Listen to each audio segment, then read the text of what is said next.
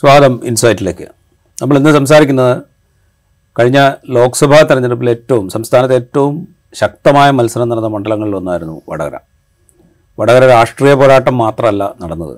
അവിടെ വ്യക്തിഹത്യ സ്ഥാനാർത്ഥികളെ വ്യക്തിഹത്യ ചെയ്തു എന്ന ആക്ഷേപമുണ്ടായി ലൈംഗിക ചുവയോടുകൂടിയുള്ള കാര്യങ്ങൾ പ്രചരിപ്പിച്ചു എന്നുള്ള ആക്ഷേപമുണ്ടായി ഇതിന്റെ പ്രചാരണം അതിന്റെ അവസാന ഘട്ടത്തിലേക്ക് എത്തുമ്പോഴാണ് ഇടത് സ്ഥാനാർത്ഥി കാഫിറാണ് എന്നുള്ള മട്ടിലുള്ളൊരു പ്രചാരണം ആ മണ്ഡലത്തിൽ നടന്നു എന്നുള്ള ആക്ഷേപം വരുന്നത് അതിന് തെളിവായിട്ട് ഒരു എം എസ് എഫ് നേതാവ് P K Ahammed Kasim share ചെയ്തതായി പറയപ്പെടുന്ന. ഒരു ഒരു സ്ക്രീൻഷോട്ട് ഇടത് ഗ്രൂപ്പുകൾ പ്രചരിപ്പിക്കുകയും ചെയ്തു. അതായത് കാഫിറാണ് ഇടത് സ്ഥാനാർത്ഥി എന്ന മട്ടിലുള്ള ഒരു ഒരു പ്രചാരണം. അതിന്റെ അത് പ്രചരിപ്പിച്ചത് മുഹമ്മദ് കാസിമാണ് എന്ന ആക്ഷേപം വരുന്നു മുഹമ്മദ് കാസിം ഇത് സംബന്ധിച്ച് പോലീസിൽ പരാതി നൽകി.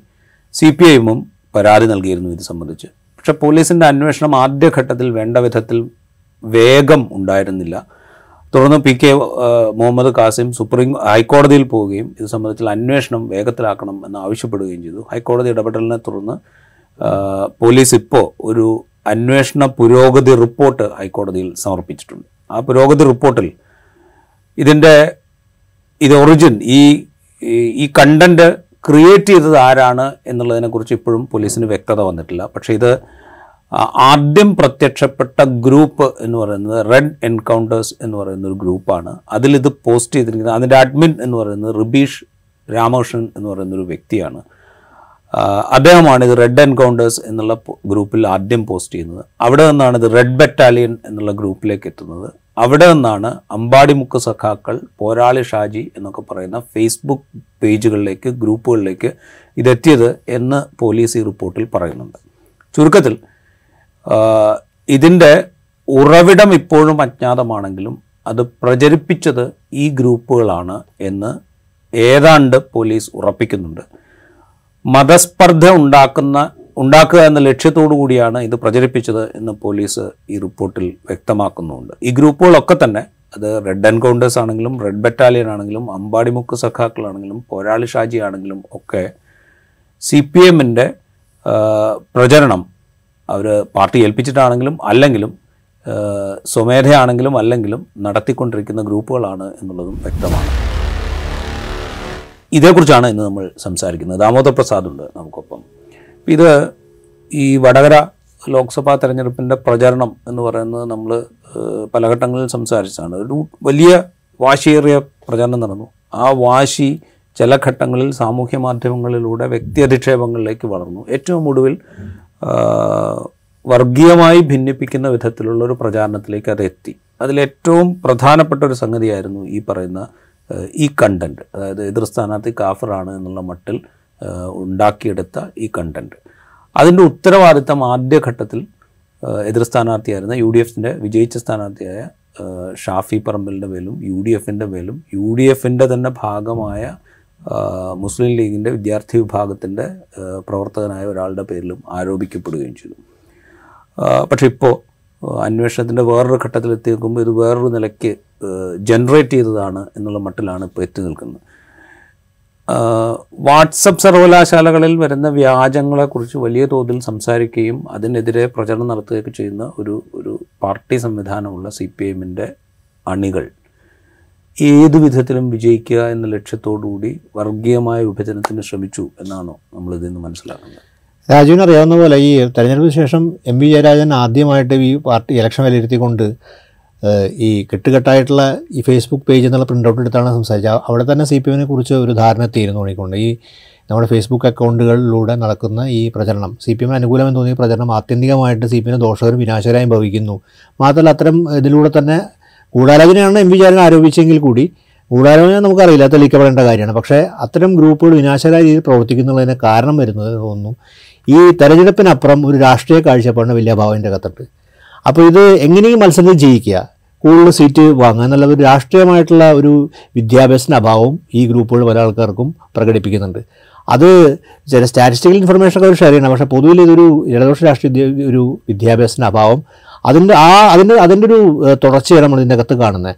അപ്പോൾ ഇലക്ഷൻ വളരെ തീർച്ചയായിട്ടും പ്രധാനപ്പെട്ട മത്സരമാണ് രണ്ട് തവണ അവിടെ മുമ്പ് തോറ്റതാണ്. അപ്പോൾ അതുകൊണ്ട് ഈ പ്രാവശ്യം ജയിക്കാമെന്ന് കെ കെ ശൈലജ പോലുള്ള വളരെ ടീച്ചറെ പോലെ പ്രധാനപ്പെട്ട ഒരു സ്ഥാനാർത്ഥി മത്സരിക്കുന്നു. അപ്പോൾ വിജയം ഏതാണ്ട് ഉറപ്പിച്ചിരുന്നു. ആ വിജയത്തിലേക്കുള്ള കാര്യങ്ങൾ നടത്താനുള്ള സമയത്താണ് പുതിയ മുരളീധരൻ മാറി ഷാഫിർ അപ്പോൾ മത്സരത്തിന്റെ സ്വഭാവം മാറുന്നതനുസരിച്ചൊരു എന്താ പറയുക ഒരു ഒരു പതർച്ചയോ എന്തോ ഇടതുപക്ഷ ക്യാമ്പിലുണ്ടായിരിക്കാം പക്ഷേ അത് ജയിക്കാന്നുള്ളത് അപ്പോൾ ജയിക്കാൻ ലക്ഷ്യത്ത് ലക്ഷ്യത്തിൽ വെച്ചുകൊണ്ട് ഇത്തരം ക്യാമ്പയിൻ ആവാം.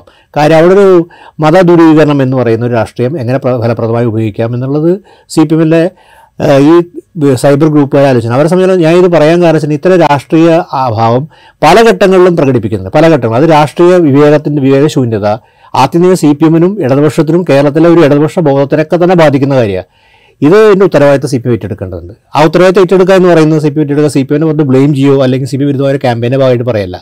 ഇത്തരം കാലം നിയന്ത്രിക്കാനുള്ളൊരു പരിപാ പരിപാടി ഇപ്പോൾ തന്നെ ആസനം ചെയ്തെങ്കിൽ ഇത് കൂടുതൽ വിനാശത്തിലേക്ക് പോകും. ആ കൂടുതൽ വിനാശത്തിലേക്ക് പോകുന്നതിന് സി പി എമ്മിന്റെ രാഷ്ട്രീയത്തെയും ഭാവി രാഷ്ട്രീയത്തെയും ഒക്കെ തന്നെ ബാധിക്കാൻ പോകുന്നൊരു സംഭവമായിട്ട് പരിണമിക്കാൻ സാധ്യതയുണ്ട്. കാരണം ഇത്തരം ആൾക്കാർ എന്താ ചെയ്യണമെന്ന് വെച്ചിട്ടുണ്ടെങ്കിൽ ഇതൊരു ഈ രാഷ്ട്രീയ വൈരാഗ്യം നിമിത്തം എന്താണ് ചെയ്യുന്നതിനെ കുറിച്ചൊരു ധാരണയില്ല. ഇത് മാഷാള സ്റ്റിക്കറിൽ നമ്മൾ മുമ്പ് കണ്ട കാര്യമാണ്. ഇത് എന്താണ് എവിടെയാണ് എത്തുന്നത് ഏത് തരത്തിലേക്കാണ് ഇത് സമൂഹത്തിൽ ഭിന്നിപ്പുണ്ടാക്കാൻ പോകുന്നതിനെ കുറിച്ചുള്ളൊരു ബോധമില്ലായ്മ പ്രകടമായിരുന്നു അത് എന്ത് ഇടദോഷമാണ് ആ ഒരു ഇടദോഷ ഒരുവരും അപ്പോൾ ഇതിലൂടെ പത്ത് സത്യത്തിൽ പ്രവർത്തിച്ചുകൊണ്ടിരിക്കുന്ന വളരെ വലിയ തോതിൽ പ്രവർത്തിക്കുന്ന വലതുപക്ഷ രാഷ്ട്രീയം ഇതിന്റെ അകത്ത് പ്രവർത്തിക്കുന്നത് പ്രത്യേകിച്ചും ഈ മുസ്ലിം വിരുദ്ധ ക്യാമ്പയിൻ പ്രധാനമായൊരു തെരഞ്ഞെടുപ്പ് കൂടി ലോക്സഭാ തെരഞ്ഞെടുപ്പ്.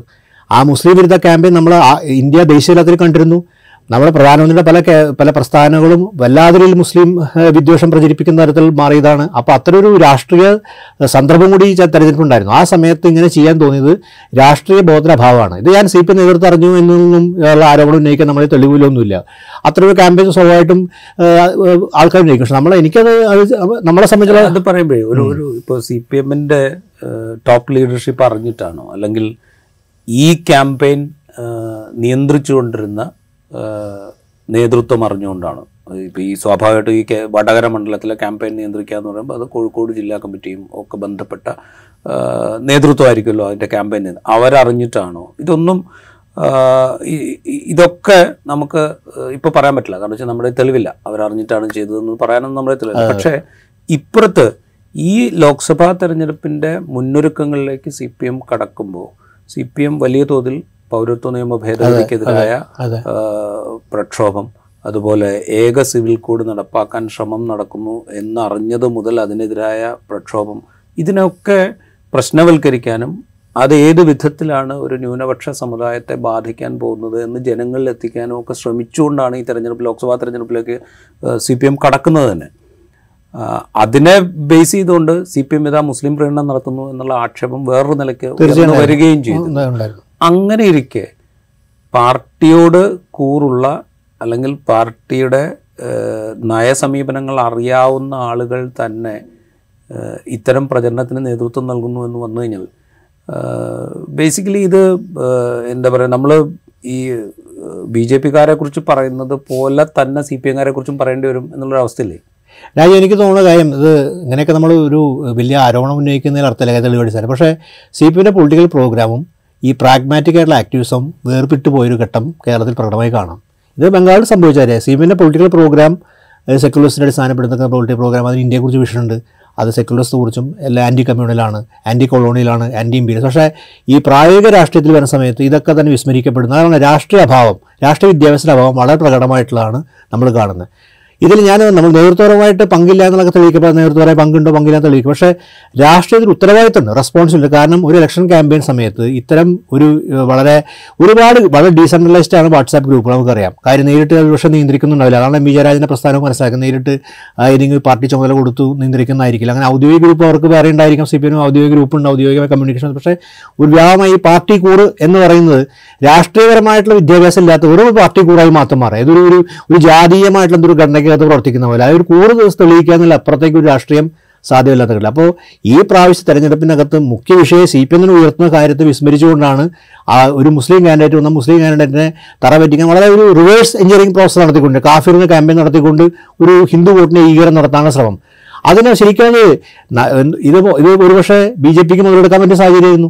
അവർ മുതലെടുത്തുണ്ടോ എന്ന് പോലും നമുക്കറിയില്ല. ആ ഏത് രീതിയിലാണ് മുതലെടുത്തുള്ളത് നമുക്കറിയില്ല. പക്ഷേ ഇത്തരം ഒരു കേരളത്തിലെ രാഷ്ട്രീയം ഒരു മൂന്നാം കക്ഷിയുടെ ബി ജെ പി സാന്നിധ്യം അറിയിക്കുന്ന ഘട്ടത്തിൽ ഒരു സുരേഷ് ഗോപിയൊക്കെ ജയിച്ച ഘട്ടത്തിൽ അല്ലെങ്കിൽ സുരേഷ് ഗോപി സജീവമായി പ്രവർത്തിച്ച ഘട്ടത്തിൽ അവിടെ അപ്പുറത്ത് ഇലക്ഷൻ തൊട്ടുമായി രാജീവ് ചന്ദ്രശേഖർ പ്രത്യേക ഘട്ടത്തിൽ ഇതൊക്കെ അന്വേഷിക്കാൻ നിയന്ത്രിക്കാൻ സിപ്പിന് ഭാവി ഉണ്ടായിരുന്നു അത് വിട്ട് അത് കൈവിട്ട കളി ഇതിനകത്ത് സി പി എം കളിച്ചിട്ടുണ്ട്. അതിന്റെ അകത്ത് സി പി എമ്മിന് ജില്ലാ നേതൃത്വത്തിൽ പങ്കുണ്ടെങ്കിൽ ആ പങ്ക് അന്വേഷിക്കപ്പെടേണ്ട നടപടിയെടുക്കണം. കാര്യം ഇങ്ങനെ ക്യാമ്പയിൻ നടത്തുന്ന സമയത്ത് അതിന്റെ പ്രത്യാഘാതങ്ങളെ കുറിച്ച് തൽക്കാലം ജയിക്കുകയല്ല ജയിച്ചതിന് ശേഷം ഈ ക്യാമ്പയിൻ നിലനിൽക്കാൻ പോകുന്നതാണ് ഇത്. ഇത് ഇതൊരു ഇത് ഇത് ഒരു തരത്തിൽ എനിക്ക് തോന്നുന്നു ഷൈല ടീച്ചർ തോറ്റം നന്നായി. കാര്യം ഈ ക്യാമ്പയിൻ പരാജയപ്പെട്ടത് സി പി എം വലിയ തിരിച്ചറിവുണ്ടാവും. കാര്യം ഇത്തരം ക്യാമ്പയിനുകളാണ് മുന്നോട്ട് കൊണ്ടുവന്നതെങ്കിൽ അത് വലിയ സൃ- സാമൂഹ്യത്തെ സൃഷ്ടിക്കാൻ സി പി എമ്മിനും കേരളത്തിനും സി പി എം ഉയർത്തിപ്പിടിക്കുന്ന കേരളത്തോട് സമീപനത്തിനും എല്ലാം തന്നെ വലിയ തോതിൽ ബാധിക്കാൻ പോകുന്ന കാര്യം അത് അതുകൊണ്ട് ഇതിന്റെ പ്രത്യാഘാതങ്ങളെക്കുറിച്ചുള്ള ആലോചനയിൽ നിന്ന് എം പി കാരൻ നടത്തിയ പ്രസ്ത പത്ത് പത്ത് സമ്മേളനം പോലെ തന്നെ സി പി എം നേതൃത്വം ഉത്തരവാദിത്തോടെ കാര്യം ഇടപെടുകയും ഒരു ഒരു ഇതുപോലുള്ള കാര്യങ്ങൾ ഇത്തരം ഗ്രൂപ്പുകളെ ഡിസോൺ ചെയ്യാനും പക്ഷെ അത് അങ്ങനെ ഡിസോൺ ചെയ്യുമ്പോൾ ഒരു പ്രശ്നമുണ്ട്. കാരണം വെച്ച് കഴിഞ്ഞാൽ ഈ ക്യാമ്പയിൻ തെരഞ്ഞെടുപ്പ് പ്രചാരണത്തിന്റെ ഏതാണ്ട് അവസാനത്തോടെ അടുക്കുമ്പോഴാണ് വരുന്നത്. അന്ന് സി പി എമ്മിന്റെ വളരെ ഉത്തരവാദിത്തപ്പെട്ട നേതാക്കൾ തന്നെ ഈ സ്ക്രീൻഷോട്ട് ഷെയർ ചെയ്ത നേതാക്കളുണ്ട്.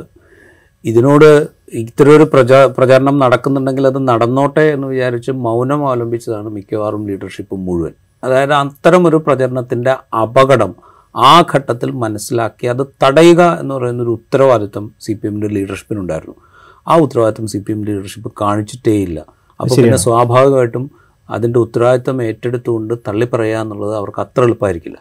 അത് ശരിയാണ്. രാജീവ് പറഞ്ഞ ശരിയായ ഇപ്പോൾ നമ്മൾ പല ഘട്ടത്തിലും കാണുന്നത്. ഈ ഈ തെരഞ്ഞെടുപ്പ് ക്യാ- ക്യാമ്പയിന്റെ ഘട്ടത്തിൽ തന്നെ കാസർഗോഡ് സ്ഥാനാർത്ഥി രാജ്മോഹൻ ഉണ്ണിത്താനെ കുറിച്ച് പോലെ എന്തൊരു സാധനം പ്രചരിക്കും. ഉടൻ തന്നെ പിൻവലിക്കുകയും ചെയ്തു. ചിലപ്പോൾ സ്ഥാനാർത്ഥി അറിഞ്ഞാൽ ആ സ്ഥാനാർത്ഥി മാനേജ് ചെയ്യാൻ ആരെങ്കിലും ഏൽപ്പിച്ചായിരിക്കും. അത് തീർച്ചയായിട്ടും ദോഷക്കാരനായിരിക്കുമല്ലോ ഏൽപ്പിച്ച ആൾ ചെയ്യുന്ന പണിയാണ്. അപ്പോൾ ഞാനിവിടെ വീണ്ടും നമ്മൾ കാണുന്നതിന് ഇത് ഡിസോൺ ചെയ്യാന്ന് പറയുന്ന സംബന്ധിച്ചോളം ഇപ്പോൾ എന്തായാലും മനസ്സിലായ സ്ഥിതിക്ക് ഈ രാഷ്ട്രീയ വിദ്യാഭ്യാസമില്ലാത്ത ഇടതുപക്ഷ രാഷ്ട്രീയ വിദ്യാഭ്യാസമില്ലാത്ത ആ ഒരു ബോധമില്ലാത്ത ഒരു കെ- വലിയ തോതിൽ ഇങ്ങനെ പാർട്ടി കൂർ എന്നുള്ള ഒരു ജാതീയമായ എന്തോ സംഭവമായിട്ട് മാത്രം കാണുന്ന ഈ പ്രസ്ഥാന ഈ ഇങ്ങനെയുള്ള ഇത് ഈ വാട്സാപ്പ് സോഷ്യൽ മീഡിയ ക്യാമ്പയിനെ ഏത് തരത്തിൽ ഡിസോൺ ചെയ്യാൻ നിയന്ത്രിക്കാൻ പറ്റില്ല. കാരണം ഹൈലി ഡീസെൻട്രലൈസ്ഡ് ആണ്. അത് ആ രീതിയിൽ നിങ്ങൾ അതൊന്നും എളുപ്പത്തിൽ ചെയ്യാൻ പറ്റില്ല. കാര്യം നാളെ ഏതെങ്കിലും നാല് ബി ജെ പിക്കാർ ഇതേ എന്താ റെഡ് എന്താ പറയുക റെഡ് ബാഡ്ജ് ഓഫ് കറേജ് എന്നൊക്കെ പറഞ്ഞൊരു വാട്സാപ്പ് ഗ്രൂപ്പ് ഉണ്ടാക്കി അത് ആദ്യഘട്ടത്തിൽ കുറേ ഇടതുപക്ഷ ക്യാമ്പയിൻ നടത്തുകയും തന്ത്രപൂർവം ഇത് മാറ്റിക്കഴിഞ്ഞാൽ സി പി എം ചുക്കും ചെയ്യാൻ പറ്റില്ല. കാര്യം നമ്മുടെ സോഷ്യൽ മീഡിയയുടെ ഡീസെൻട്രലൈസ് ലോകം അതാണ്. അതിലിപ്പോഴും സി പി എം വേണ്ട പോലെ മനസ്സിലാക്കണമെന്ന് എനിക്കറിയില്ല അല്ലെങ്കിൽ അവിടെ പക്ഷേ വലതുപക്ഷം ഇതിന്റെ സ്വഭാവം മനസ്സിലാക്കിയിട്ടുണ്ട്. കാര്യം ഏറ്റവും കൂടുതൽ സോഷ്യൽ മീഡിയ ഉപയോഗിക്കുന്നത് ആഗോളതലത്തിലും ഇന്ത്യയിലും നമ്മൾ ഇംഗ്ലണ്ടിലെ ക്യാമ്പയിനൊക്കെ കണ്ടെന്ന് സോഷ്യൽ മീഡിയ ഉപയോഗിച്ചുകൊണ്ട് മാത്രമാണ് റൈറ്റ് നടന്നിട്ടുള്ളത്. അപ്പോൾ വലതുപക്ഷം വളരെ കൃത്യമായിട്ട് ഉപയോഗിക്കുന്ന മാധ്യമമാണ് സോഷ്യൽ മീഡിയ അതിനൊറ്റപ്പെട്ട ചില വ്യത്യസ്തമായ ദൂരാടിയെ പോലെയൊക്കെ നമ്മൾ ചൂണ്ടിക്കാണിക്കുന്നത് യൂട്യൂബിൽ. അതൊക്കെ ഔദ്യോഗിക സ്വഭാവമുള്ള സാധനങ്ങൾ ഉപയോഗിച്ചിട്ടുണ്ടെങ്കിൽ അവരുടെ അവരുടെ പേരിൽ നമുക്ക് അറിയപ്പെടുന്ന വ്യക്തി സ്വഭാവമുള്ള ഇതാണ്. നമുക്ക് അതിന്റെ പുറത്ത് ട്രാക്ക് ചെയ്യാൻ പറ്റും. ഇതല്ല ഇത് പലതരത്തിലെ ഗ്രൂപ്പുകൾ ഉണ്ടാവാം.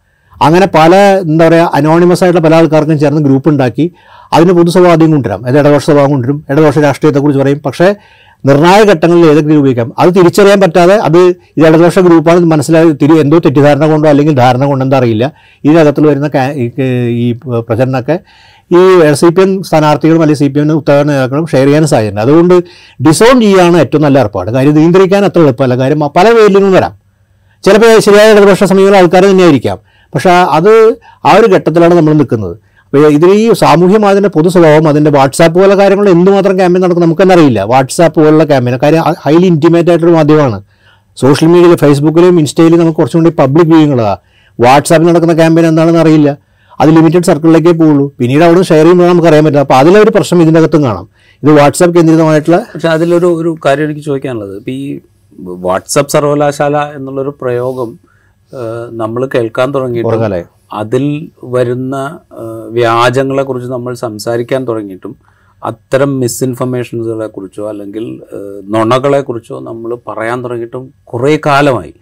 അപ്പോൾ ഇതൊന്നും അറിയാത്ത ആളുകളാണ് ഈ ഇവിടുത്തെ സി പി എമ്മിന്റെ ലീഡർഷിപ്പ് എന്ന് നമുക്ക് വിശ്വസിക്കാൻ പറ്റില്ല. അപ്പോൾ ഇത്തരം ഗ്രൂപ്പുകൾ ഉണ്ടാക്കാൻ ഉള്ള ഇടയുള്ള അപകടങ്ങളെക്കുറിച്ച് അത്തരമൊരു ഗ്രൂപ്പ് ഒരു അപകടം ഉണ്ടാക്കിയാൽ നമ്മൾ ഏത് വിധത്തിലാണ് അതിനെ കൈകാര്യം ചെയ്യേണ്ടത് എന്നുള്ളതിനെക്കുറിച്ചൊക്കെ ഒരു ധാരണ. അത് തീരെ ഇല്ലാത്ത വിധത്തിലാണ്. അല്ലെങ്കിൽ അത് തീരെ ഇല്ല എന്നാണോ നമ്മൾ മനസ്സിലാക്കേണ്ടത്? സി പി എം സഭയിൽ അങ്ങനെ ഒരു- ആവശ്യമുണ്ട് കാര്യം സി പി എമ്മിന്റെ പ്രൊഫഷണൽ വിഭാഗങ്ങളൊക്കെ ഈ മാധ്യമത്തെക്കുറിച്ച് നല്ലപോലെ ധാരണ ആൾക്കാരാണ്. പക്ഷേ ഈ പോസ്റ്റ് ട്രൂത്ത് എന്ന് വിളിക്കുന്ന സിറ്റുവേഷനിൽ സി പി എമ്മിന് ഒരു- ഒരു മാനസിക അടുപ്പുണ്ട്. അത് നമ്മൾ കാണാതിരിക്കേണ്ട. കാര്യം സി പി എം ചില വ്യാജ വാട്സാപ്പിലെ വ്യാജം എന്നൊക്കെ പറയുന്ന ഈ ബി ജെ പിയുടെ വലതുപക്ഷ ക്യാമ്പിനർക്ക് പക്ഷേ സ്വന്തം നിലയ്ക്ക് ചില വ്യാജ പ്രചരണം നടത്താൻ ഒരു മടിയും സി പി എം പല ഘട്ടത്തിലും കാണിച്ചിട്ടില്ല കാണിക്കാൻ തയ്യാറുമാണ്. അപ്പോൾ ഈ പോസ്റ്റ് ട്രൂത്തിനെ കുറിച്ചൊരു നിലപാടൊന്നും സി പി എം ആ നിലയ്ക്ക് വികസിച്ചില്ല. കാര്യം ട്രൂത്ത് സി പി എം വളരെ റിലേറ്റീവ് ആയിട്ടുള്ള കാര്യമായിട്ട് വരും. പലപ്പോഴും നമ്മൾ വളരെ ഉത്തരാധുനിക പൊസിഷൻ ചിലപ്പോൾ സി പി എടുക്കും. കാര്യം സത്യം എന്ന് റിലേറ്റീവ് ആണ്. നമുക്ക് അനുകൂലമാകുമ്പോൾ ആ സത്യം സത്യവും. അത്തരം കാര്യങ്ങളൊക്കെ വരുന്ന ഘട്ടം പലപ്പോഴും ഉണ്ടായിട്ടുണ്ട്. അത് പറഞ്ഞാൽ ഈ പൊളിറ്റിക്കൽ പ്രോഗ്രാമിൽ ഈ പ്രായോഗിക രാഷ്ട്രീയം വേർപെട്ട് പോയതിന്റെ പ്രശ്നം സി പി എം വരുന്നുണ്ട്. അപ്പോൾ അതിന്റെ ഒരു ഭാവത്തിൽ നിന്നാണ് ഈ പിന്നെ ഇലക്ഷൻ ശേഷം നമ്മൾ കാണുന്ന കാര്യം ഈ പല ഈ പറഞ്ഞ ഈ പറഞ്ഞ വിഷയം ഇപ്പോൾ ഉദാഹരണത്തിന് നമ്മുടെ ക്യാമ്പയിൻ നടത്തിയ പോരാളി ഷാജി പോലെ ആൾക്കാർ വലിയ വിമർശകരായി മാറുകയും ചെയ്യുന്നുണ്ട്. വലിയ ഇടതുപക്ഷ വിമർശകരായി സി പി എം വിമർശിക്കുന്നു വരുന്നു വരുന്നുണ്ട്. അപ്പോൾ ഈ ഒരു തെറ്റിദ്ധാരണ സമൂഹത്തിൽ ആകെ പ്രചരിപ്പിക്കുന്നുണ്ട്. ഒരു സി പി എമ്മിന്റെ വളരെ എന്താ പറയുക ശരിയായ correct corrective ഫോഴ്സായിട്ട് C P M correct force ഫോഴ്സായി പ്രവർത്തിക്കുക. മറുഭാഗത്ത് സി പി എമ്മിന്റെ ക്യാമ്പയിൻ എടുക്കുക. അപ്പോൾ വേറെ ഒരു അവാസ്തവമായിട്ടുള്ള ഒരു അല്ലെങ്കിൽ വാസ്തവാനന്തരവും സത്യാനന്തരവും ലോകം ഇവർ തന്നെ ക്രിയേറ്റ് ചെയ്ത് വെച്ചിട്ടുണ്ട്. അപ്പോൾ സി പി എം ചെയ്യാൻ കാര്യം ഔദ്യോഗിക പൊളിറ്റിക്കൽ പാർട്ടി ഒരു പ്രോഗ്രാം എന്നുള്ള പാർട്ടി നിലയ്ക്ക് അതിന് അങ്ങനെ കാര്യം ചെയ്യാമല്ലോ പക്ഷേ ഈ ഡീസെൻട്രലൈസ് ഗ്രൂപ്പുകൾ എന്താണ് ചെയ്യുന്നതിനെ കുറിച്ച് ഇവർക്ക് യാതൊരു ധാരണ ഇല്ലായ്മയുണ്ട്. അത് വലിയ പ്ര- പ്രത്യാഘാതം കുറച്ച് കാലമായി തുടങ്ങിയിട്ടുള്ളതാണ് ഈ പ്രത്യാഘാതം സൃഷ്ടിക്കുന്നത്. പക്ഷേ ഈ ഇലക്ഷനോട് അത് പൂർണമായി അവർക്ക് ബോധ്യപ്പെട്ടു. പക്ഷേ ഇപ്പോൾ അത് ഓരോ ദിവസം കഴിയുമ്പോൾ പുതിയ പുതിയ സംഭവങ്ങൾ വികസിക്കുക അതുകൊണ്ട് ഇതിനെ ഇത് ഇത് ഉത്തരവാദിത്തം ഏറ്റെടുക്കണം. ഉത്തരവാദിത്തം ഏറ്റെടുത്തുകൊണ്ട് തിരുത്തുക എന്നുള്ള ഇതിലിപ്പോ എം വി ജയരാജന്റെ കാര്യം പറഞ്ഞല്ലോ. എം വി ജയരാജൻ ഈ ലോക്സഭാ തെരഞ്ഞെടുപ്പിന്റെ തോൽവിക്ക് ശേഷം നടത്തിയ ആദ്യത്തെ വാർത്താ സമ്മേളനത്തിലാണ് ഈ ഫേസ്ബുക്ക് അഡ്മിൻ ഐ മീൻ പോസ്റ്റുകളുടെ ഒക്കെ പ്രിന്റ് ഔട്ടും ഒക്കെ വെച്ചിട്ട് വാർത്താ സമ്മേളനം നടത്തുന്നത്. ഞാൻ ആ വാർത്താ സമ്മേളനം കണ്ടപ്പോൾ എനിക്ക് ആദ്യം തോന്നിയൊരു കാര്യം എന്ന് പറയുന്നത് ഇതൊരു മുൻകൂർ ജാമ്യമാണ് എന്നാണ് എനിക്ക് തോന്നിയത്. കാരണം വെച്ച് കഴിഞ്ഞാൽ വടകരയിലെ ഈ പോസ്റ്റിന് പിന്നിൽ അത് അന്വേഷിച്ചെത്തിയാൽ എത്തിപ്പെടാനുള്ളത് സി പി എമ്മിന് വേണ്ടി പ്രവർത്തിച്ച ഈ പറയുന്ന ഗ്രൂപ്പുകളിൽ ഏതെങ്കിലും ഒന്നിലായിരിക്കും. അതിനെ അന്ന് ഡിസോൺ ചെയ്യണമെങ്കിൽ ഇന്നേ തുടങ്ങേണ്ടിയിരിക്കുന്നു എന്ന് എന്നുള്ളൊരു മുൻകൂർ ജാമ്യം എടുക്കലായിട്ടാണ് എനിക്കന്ന് തോന്നിയത്. കാരണം വെച്ച് കഴിഞ്ഞാൽ അതുവരെ അതായത് ഈ എം വി ജയരാജന ഇലക്ഷൻ ടൈമിലല്ല അതിനു മുമ്പോ ഈ സോഷ്യൽ മീഡിയ ഗ്രൂപ്പുകളെ കുറിച്ചോ അല്ലെങ്കിൽ അത്തരം കാര്യങ്ങളെക്കുറിച്ചോ ഒന്നും സംസാരിക്കുന്ന ഒരു നേതാവേ ആയിരുന്നില്ല. അപ്പോൾ അതൊരു മുൻകൂർ ജാമ്യം എടുക്കലായിട്ടാണ് എനിക്ക് തോന്നിയത്. ആ വിധത്തിൽ അത് മാനേജ് ചെയ്യാനാണ് ഒരുപക്ഷെ സി പി എം ഇപ്പോഴും ശ്രമിക്കുന്നതെന്ന് എനിക്ക് തോന്നുന്നു. അതുകൊണ്ട് പറ്റുമോ അതോ ഇപ്പോൾ ദാമർ പ്രസാദ് പറഞ്ഞ മാതിരി ഇത് കൃത്യമായി അതിന്റെ റെസ്പോൺസിബിലിറ്റി ഏറ്റെടുക്കുകയും ഇത്തരം ആളുകളെ മാറ്റി നിർത്തുകയും യഥാർത്ഥ രാഷ്ട്രീയ വിദ്യാഭ്യാസം ഈ പാർട്ടി അണികൾക്ക് കൊടുക്കുകയും സാമൂഹ്യ മാധ്യമ ഇടപെടലിന് വേണ്ടിയിട്ട് അവരുടെ തന്നെ വെരിഫൈഡ് ആയിട്ടുള്ള ഒരു ഒരു സ്ട്രീം ഉണ്ടാക്കുകയും ഒക്കെ ചെയ്യേണ്ടി വരില്ലേ? അതിനൊക്കെ ശ്രമിക്കുന്നുണ്ടോ? ശ്രമിക്കുന്നു പറയാം പക്ഷേ നിങ്ങളെ വളരെ പെർസെപ്റ്റീവ് ആയിട്ടുള്ള കാര്യമാണ് ജേർണലിസ്റ്റിന് നിങ്ങളുടെ പെർസെപ്റ്റീവ് കാര്യം. ഈ എം വി ജയരാജന്റെ പ്രസ്ഥാനം ശരിയാണ്. വളരെ കൃത്യമായിട്ട് അതിന്റെ കാര്യം മുൻകൂർ ചെയ്യാൻ ഒരു ജേർണലിസ്റ്റിക് പെർസെപ്ഷൻ വെച്ച് നിങ്ങൾ കണ്ടു. കാര്യം വരാൻ പോണ. അത് വളരെ പ്രധാനപ്പെട്ട കാര്യം. കാര്യം ആ എനിക്ക് തോന്നുന്നു ആ കാര്യത്തിൽ അങ്ങനെ ആരും ഒരു പറഞ്ഞു കേട്ടില്ല. പക്ഷേ അത് നിങ്ങൾ വളരെ ശരിയാണ്. എനിക്ക് തോന്നുന്നു ഇപ്പോൾ നമുക്ക് കൃത്യമായി മനസ്സിലാവുന്ന. കാര്യം മാനേജ്മെന്റൊക്കെ ആ ഡാമേജ് ഡാമേജ്മെന്റ് നിങ്ങളൊരു വലിയ ഒരു സംരംഭം തുടങ്ങി വെച്ചാണ്. കാര്യം അവർക്ക് മനസ്സിലായി കാണുമല്ലോ. പക്ഷേ ഇവിടെ ഈ ഞാനിത് പറയുന്നത് ഇപ്പോൾ സോഷ്യൽ മീഡിയയുടെ സ്വഭാവത്തെ കുറിച്ചിട്ട് ഇപ്പോഴും നമ്മുടെ രാഷ്ട്രീയ പാർട്ടികൾ വ്യക്തമായി മനസ്സിലാക്കിയിട്ടില്ല. പ്രത്യേകിച്ച് വാട്സാപ്പ് പോലുള്ള ഹൈലി ഇന്റിമേറ്റ് ആയിട്ടുള്ള വാട്സാപ്പ് സർവകലാശാല എന്ന് പറയുമ്പോഴും ഇതിനൊക്കെ വേണ്ട പോലെ ഉപയോഗിക്കുന്ന അതേസമയം ഇതിന്റെ പ്രശ്നങ്ങൾ മനസ്സിലാക്കാതിരിക്കുക എന്നുള്ളത് ഒരു ഗുരു ഗുരുതരമായ പ്രശ്നമാണ്. കാര്യം ഈ മാധ്യമങ്ങൾ നമ്മൾ എന്ത് ഇതിനെക്കുറിച്ച് പ്രോഗ്രസീവായ നിലപാടെടുത്താലും ഈ സോഷ്യൽ മീഡിയയിൽ ഒരുപക്ഷെ ഇപ്പോൾ ബംഗ്ലാദേശിൽ കാണുന്ന പ്രക്ഷോഭങ്ങൾ ഇന്ത്യയിൽ ഇപ്പോൾ ലോകത്തെ പല പ്രക്ഷോഭങ്ങൾക്കും സോഷ്യൽ മീഡിയ പല സഹായം വഹിച്ച സഹായം വഹിച്ചിട്ടുണ്ടെങ്കിലും പോലും ഇത് വലതുപക്ഷ ആശയം പ്രചരിപ്പിക്കാൻ ഏറ്റവും എളുപ്പമാണ്. കാര്യം ഇത്രയും ഇങ്ങനെയുള്ള ദൂരവ്യാപകമായിട്ടുള്ള ഏറ്റവും വിദ്വേഷം നിറഞ്ഞ വെറുപ്പ് പ്രചരിപ്പിക്കുന്ന മാധ്യമമായിട്ട് പറഞ്ഞു കാര്യം നമുക്ക് തന്നെ അറിയാം. പല ഫാമിലി ഗ്രൂപ്പ്സ് ഉണ്ടാവും. കുടുംബ ഗ്രൂപ്പുകളിലൊക്കെ വരുന്ന ഇത് ഒരാളായിരിക്കും. അത് മറ്റൊരാളിലേക്ക് അങ്ങനെ അങ്ങനെ പകർന്നു പോകുന്നൊരു ഒരു സ്വഭാവമുണ്ട്. അങ്ങനെ വരുന്ന കാര്യം നമുക്ക് അത് എന്താ പറയുക നമ്മുടെയൊക്കെ ഒരു നമ്മൾ മനസ്സിലാക്കിയിട്ടുള്ള നമ്മുടെ സാമൂഹിക ജീവിതത്തിൽ നമ്മുടെ സാമൂഹിക ജീവിതത്തിനൊക്കെ അപ്പുറമുള്ളൊരു വാ- വിദ്വേഷത്തിനൊക്കെ വിദ്വേഷം നടക്കുന്നുണ്ട്. നമുക്കൊന്നും മനസ്സിലാക്കാൻ പറ്റാത്ത വിധത്തിൽ വിദ്വേഷത്തിന്റെ ഒരു ലോകം ഈ വാട്സാപ്പിനകത്തുണ്ട്. ഇത് സുക്കർബോക്കൊന്നും നിയന്ത്രിക്കാൻ പോകുന്നില്ല കാര്യം അവരൊട്ടും ചെയ്യില്ല കാര്യം അവരെ സംബന്ധിച്ചോളം അവരുടെ അവരുടെ ബിസിനസ്സാണ് ഈ മാത്രമേ ഡാറ്റകൾ ഉപയോഗിക്കുന്നുണ്ട്. അപ്പോൾ അവരെ സംബന്ധിച്ച് ഒരു വിവരത്തില്ല മാത്രമല്ല കഴിഞ്ഞ ദിവസം ഞാൻ ഏത് പത്രത്തിലാണെന്നല്ല ഏത് അൽ ജസീരയിൽ ഒരു വാർത്ത കണ്ടിരുന്നു വെച്ചിട്ടുണ്ടെങ്കിൽ എലോൺ മസ്കിന്റെ ട്വിറ്റർ വലതുപക്ഷ ചായവിലേക്ക് എലോൺ മസ്ക് തന്നെ വലതുപക്ഷ രാഷ്ട്രീയ ആ ട്വിറ്റർ തന്നെ അല്ല ട്വിറ്ററിലെ ഈ എക്സ് എക്സ് എക്സ് എന്ന പ്ലാറ്റ്ഫോമിന് ട്രംപിന് അനുകൂല ഒരു വലതുപക്ഷ രാഷ്ട്രീയ ക്യാമ്പിലേക്ക് മാറണം അപ്പോൾ ഈ കോർപ്പറേറ്റുകൾക്ക് തന്നെ താല്പര്യങ്ങൾ പലതുണ്ട്. നമ്മൾ മുമ്പ് കണ്ടതാണല്ലോ ഈ വാട്സാപ്പിൽ അല്ല നമ്മുടെ ഫേസ്ബുക്കിന്റെ വൈസ് പ്രസിഡന്റ് രാജിവെക്കേണ്ടത്. ഒരു സ്ഥലത്ത് ബി ജെ പി അനുകൂല ക്യാമ്പയിന് കൂട്ടുന്നതിന്റെ പേരിൽ. അപ്പോൾ ഈ ഇതൊന്നും അത്ര വിശ്വസിക്കാൻ പറ്റുന്ന രീതിയിലൊരു മാധ്യമം അപ്പോൾ ഔദ്യോഗിക സ്വഭാവം കൊണ്ടുവരിക എന്നുള്ളത് പറ്റും. ഒരു കാര്യം ഔദ്യോഗിക വെബ് പേജ് അങ്ങനെയുള്ള സംഭവം. പക്ഷേ ഈ ഡീസെൻട്രലൈസ്ഡ് ക്യാമ്പയിൻ വളരെ വികേന്ദ്രീയം എന്നുള്ള വാക്ക് നമ്മൾ വളരെ നല്ല വാക്കാണ് വികേന്ദ്രീയ പക്ഷേ ആ വികേന്ദ്രീയ ക്യാമ്പയിൻ എന്ന് പറയുന്നത് ഒരു ഉത്തരവാദിത്വം ഇല്ലാത്ത രീതിയിൽ മറ്റു പല രീതിയിലാണ് ഉപയോഗിക്കപ്പെടുന്നത്. അതിൽ ആരും ഉപയോഗിക്കുന്ന കുറിച്ച് ഇവർക്ക് തന്നെ അറിയില്ല. അപ്പോൾ ഇവർ ഇവർ ഈ അണികളും അനുഭാവികളും എന്നൊക്കെ പാർട്ടി മെമ്പർമാരാണോ? അല്ലെങ്കിൽ ആ നിലയ്ക്കുള്ളവരാണോ? അല്ലാതെ ഒരു വെറും ഒരു സ്നേഹപ്രകടനത്തിനെ കുറിച്ച് ചെയ്യുന്നതാണോ അല്ലെങ്കിൽ അനുഭവത്തിനെ കുറിച്ച് നമുക്ക് അതിനെ കുറിച്ചൊരു വ്യക്തത ഇല്ലാറുണ്ട് ആ വ്യക്തതയില്ലാതെ ഭാഗമായിട്ട് പ്രചരിപ്പിക്കുന്നതാണ് അപ്പോൾ ഇത് നാളെ ഇത് ചൂഷണ വിജയമാവാം ഇത് ഏത് രാഷ്ട്രീയ പാർട്ടി ആലോചിക്കേണ്ട കാര്യം. ഇപ്പം സ്വാഭാവികമായിട്ടും ബി ജെ പിയുടെ രാഷ്ട്രീയം മറ്റേ ആൾക്കാരെ ഏറ്റെടുത്ത് ചെയ്യാൻ വഴിയില്ല. അതുകൊണ്ട് അവർക്ക് മാത്രം ബി ജെ പിക്ക് പേടിക്കേണ്ട ആവശ്യമില്ല. പക്ഷെ മറ്റുള്ള ഇത് കോൺഗ്രസും പേടിക്കേണ്ട കാര്യമാണ്. തീർച്ചയായിട്ടും കോൺഗ്രസ് രാഷ്ട്രീയ കോൺഗ്രസും ഭയപ്പെടേണ്ട കാര്യമാണ്. ഇത് ഉപയോഗിക്കപ്പെടാൻ സാധ്യതയുണ്ട്. നിർണായക തെരഞ്ഞെടുപ്പിൽ പലരും ആ ക്യാമ്പ് ഇതൊരു ഭാവിയിലേക്ക് വരാൻ പോകുന്ന വലിയ കാര്യത്തിന്റെ അകത്തുണ്ട്. കാര്യം ഇത്തരം ക്യാമ്പയിനുകൾ പല രീതിയിൽ ഉപയോഗിക്കപ്പെടാം. കാര്യം നമ്മളിവിടെ റിവേഴ്സ് പ്രോസസ്സാണ് കിടക്കുന്നത് കാര്യം ഇദ്ദേഹം ഷാഫിയെ ക്യാമ്പയിൻ ചെയ്തുകൊണ്ട് കാഫിർ പറഞ്ഞുകൊണ്ട് നേരിട്ടുള്ള ആക്രമണമല്ല. അപ്പോൾ ആ നിലയ്ക്ക് ഹിന്ദു ധ്രുവീകരണത്തിനൊരു രാഷ്ട്രീയ സമയം അത് ഇതേപോലെ എല്ലാ സ്ഥലങ്ങളും ഉപയോഗിക്കാം. ഇത് പലരും ഉപയോഗിക്കുന്നുണ്ടാവാം. പക്ഷേ ഇതുപോലെ ഈ രീതിയിൽ മാധ്യമം ഉപയോഗിച്ചുകൊണ്ട് പ്രത്യക്ഷം വളരെ സൂക്ഷ്മ തലങ്ങളിലേക്ക് പോകുന്നത് അവരുടെ അപ്പോൾ ഇത് ഇത് ഇതിന്റെ ഇത് ഉത്തരവാദിത്തം ഏറ്റെടുക്കുക എന്നുള്ളതും ഡിസോൺ ചെയ്യുകയും ഇത്തരം ഡീസെൻട്രലൈസ്ഡ് ആയിട്ടുള്ള ഇത്തരം ക്യാമ്പയിനെ കുറിച്ച് വളരെ ഗൗരവമായിട്ട് അനുദിനം തന്നെ മോണിറ്റർ ചെയ്യുന്ന സെല്ലും വേണ്ടതുണ്ട്. ഞാൻ പറഞ്ഞ സർവൈലൻസ് നടത്തല്ല പക്ഷേ ഇതിന് ആ നിലയിൽ ഇത് അനുവദനീയമല്ലാത്ത രീതിയിൽ തന്നെ കൊണ്ട് അത് ചെയ്യാൻ പലപ്പോഴും മടിക്കുന്നു. ഇടയ്ക്കിടയ്ക്ക് പലപ്പോഴും ഇപ്പോൾ എ റഹീം ഒരു ഘട്ടത്തിൽ ഈ ക്യാമ്പയിനെ തള്ളി പറഞ്ഞ എനിക്ക് ഓർമ്മയുണ്ട്. പിന്നീട് അപ്പോൾ എ റഹ്മിനെ അവർ തിരിഞ്ഞു. പക്ഷേ കഷ്യൻ സൈലന്റ് ആയി. അപ്പോൾ ഇവിടെയൊക്കെ ഇവർക്ക് പലപ്പോഴും ലീഡർഷിപ്പിന് പലപ്പോഴും സൈലന്റ് ആവേണ്ടി വരുന്ന ഒരു ഗതികേടും കൂടി ഉണ്ട്. കാര്യം അവരെക്കാട്ട് ശക്തമാണ് ഈ വാട്സാപ്പ് ഗ്രൂപ്പുകൾ ലീഡേഴ്സിനെക്കാട്ട് ശക്തമായിട്ട് വാട്സാപ്പ് ഗ്രൂപ്പിന് അവർക്ക് നിശബ്ദമാവേണ്ടി വരികയാണ്. അപ്പോൾ ഇത് ഇത് ആ ഘട്ടം തിരിച്ചറിയപ്പെട്ടിരിക്കുന്നത്. എന്താണ് എന്റെ സ്വഭാവം എന്നുള്ളത്. അതുകൊണ്ട് അതിൽ തിരുത്തിൽ ഏർപ്പെടുത്തുകയും ഉത്തരവാദിത്വം വഹിക്കുകയും തിരുത്തിൽ ഏർപ്പെ- ഏർ- ഏർ- ഏർപ്പെടുത്തുകയും ഇതിന്റെ ഇത് ഒഴിവാക്കുകയും ചെയ്യുക എന്നുള്ളത് പ്രധാനം. ഒപ്പം തന്നെ ഈ രാജീവ് സൂചിപ്പിച്ച പോലെ തന്നെ ഇതിന്റെ അകത്തൊരു വലിയ രാഷ്ട്രീയ വിദ്യാഭ്യാസത്തിന്റെ പ്രശ്നം. അത് ഭാവിയിലേക്ക് ആവശ്യമാണ്. കാര്യം അതിന്റെ ഒരു വലിയ അഭാവം പല രീതിയിൽ നമുക്ക് കാണുന്നുണ്ട് ഈ സോഷ്യൽ മീഡിയ പ്രചരണങ്ങളെല്ലാം കാണുന്ന ഇത്തരം ആൾക്കാരെ അധിക്ഷേപിക്കുന്നതിലൊക്കെ ഈ ഒരു ഇതൊരു ഒരു ഒരു ഭാഗമായി മാറിയിരിക്കുകയാണ്.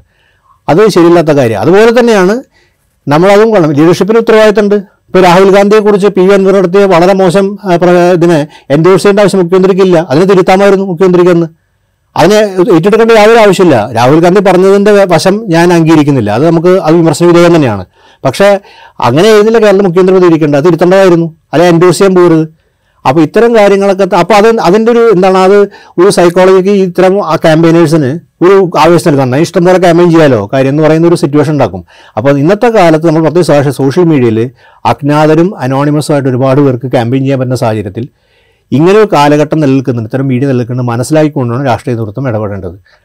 അപ്പോൾ ഇതിനെ പോസിറ്റീവ് ഉപയോഗിക്കാൻ ഒരുപാട് വശങ്ങളുണ്ട്. വളരെ തരത്തിൽ ഈ ഈ ക്യാമ്പയിന് സോഷ്യൽ മീഡിയ ഉപയോഗിക്കാൻ രീതിയിൽ പലതരം സഹായം നിലനിൽക്കുന്നില്ല പറയുന്നില്ല. പക്ഷേ മറുവശം അതിരൂക്ഷമാണ് ഇതിലൊരു ഭീകരാന്തരീക്ഷം നില ഭീകരാന്തരീക്ഷം വാക്കുകൾ ശരിക്കും കൂടി പക്ഷേ ഇത്തരം അവസ്ഥ നിൽക്കുന്നത് പ്രതിപക്ഷ നേതാവ് ഭീകരപ്രവർത്തനമാണ് നടത്തിയത് എന്നുള്ള ആക്ഷേപമാണ് ഉന്നയിക്കുന്നത്.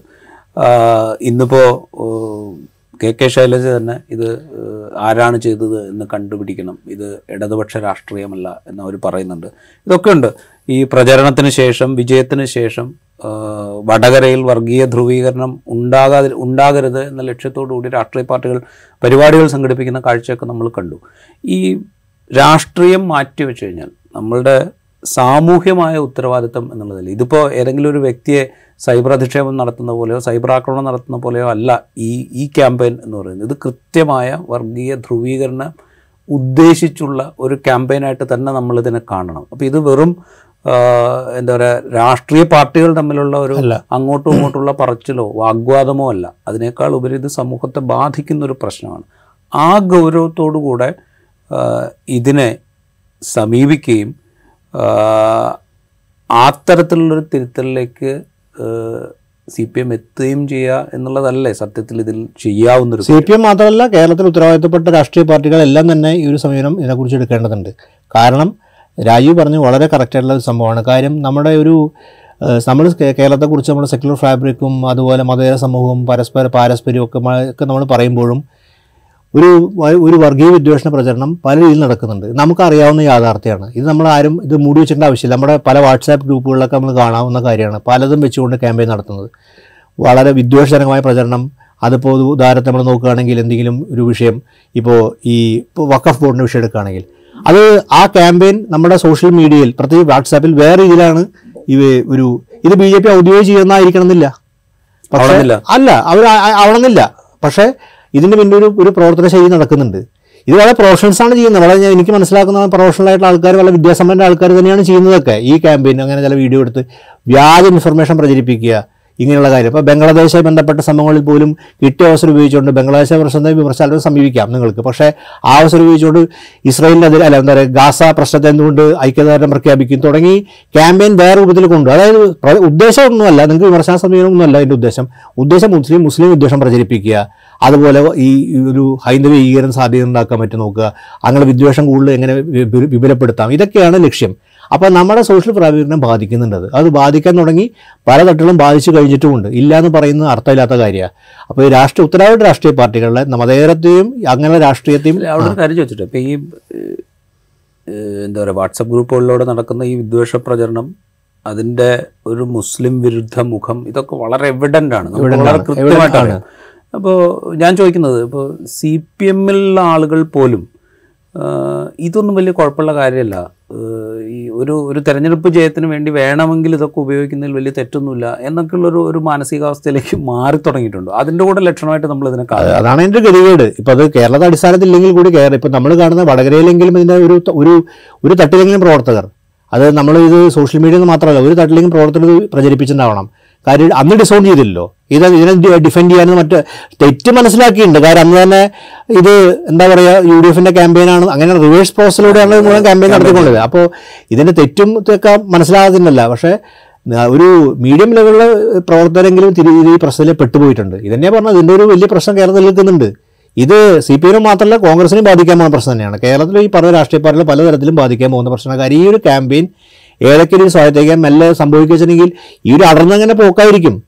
ആ ഒരു ഘട്ടം അപ്പോൾ രാഷ്ട്രീയ വിദ്യാഭ്യാസ അഭാവം പ്രകടമാണ്. ഇതുപോലെ തന്നെ സോഷ്യൽ മീഡിയയെക്കുറിച്ചുള്ള മനസ്സിലാക്കൽ എങ്ങനെയാണ് സോഷ്യൽ മീഡിയ പ്രവർത്തിക്കുന്നത് നിയന്ത്രിക്കാൻ പറ്റാതിരിക്കുക ഇതൊക്കെ രീതിയിൽ ഈ നമ്മൾ നോക്കുമ്പോൾ ഫേസ്ബുക്ക് കുറച്ചുകൂടി പബ്ലിക്കാണ് അതിന്റെ അകത്ത് ഈ വിദ്വേഷപരം നടക്കുന്നതിൽ കൂടി അത് നമുക്ക് കാണാൻ പറ്റും. വാട്സാപ്പ് അതങ്ങനെ പറ്റില്ല നിങ്ങൾക്ക്.